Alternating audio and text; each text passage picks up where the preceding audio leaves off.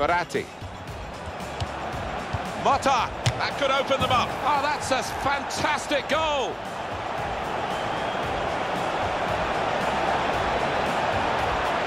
Restarting at 2-0.